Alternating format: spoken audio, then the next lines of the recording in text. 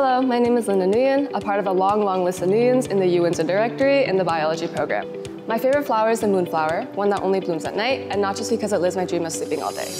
Moonflowers don't work as you would normally expect them to, and because of this, people might call them strange. But they function just fine. Like me, they might perform their tasks in unconventional ways, but their way of life is just different, not wrong. Past flowers, diversity in people and thoughts is crucial to driving the formation of new ideas.